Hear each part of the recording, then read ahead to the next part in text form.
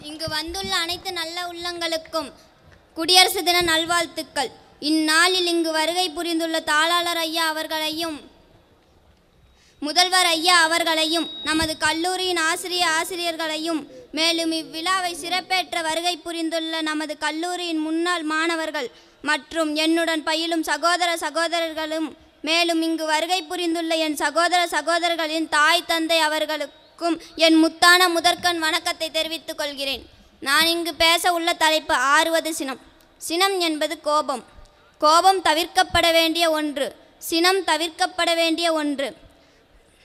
ஏன்? இந்த சினமானது இந்த கோபமானது தன்னையும் தன்னை சார்ந்தவரையும் முற்றிலுமாக அழித்துவிடும். என தெரியுமா?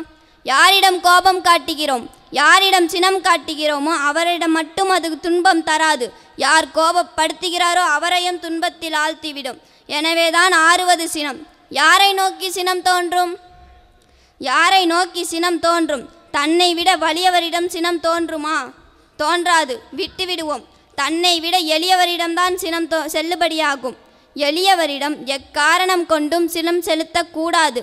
அவர்கள் வலிமையற்றவர்கள்.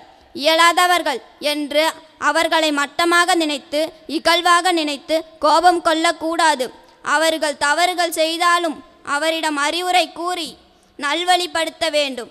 அதாவது இந்த சினமானது நமது சமநிலை மனதிலிருந்து நமது நிலையை மறக்கச் செய்யும். இந்த சினம் கூடவே கூடாது. இப்படியும் எடுத்துக்கொள்ளலாம் ஆறுவது சினம் என்பது. சினம் என்பது குறைக்கப்பட வேண்டிய ஒன்று. குறைக்கக்கூடிய ஒன்றை குறைக்க முடிந்த ஒன்றை ஆகக்கூடிய ஒன்றை ஏன் நாம் மற்றவர்களிடம் காண்பித்து நம்மை கெடுத்துக்கொள்ள வேண்டும்? இந்த சினம் என்ன செய்யும்? இந்த சினம் நமது அன்றாட நிகழ்வுகளை அழித்துவிடும். நமது அன்றாட செயல்களை செயல்பாடுகளை கெடுத்துவிடும். யாரையோ பழிவாங்குவதற்கு யாரோ செய்த தவறுக்கு சினம் காட்ட சொல்லுகின்ற அதே நேரத்தில் நாமும் பாதிக்கப்படுகிறோம் என்பதை உணர வேண்டும். நன்றி வணக்கம்.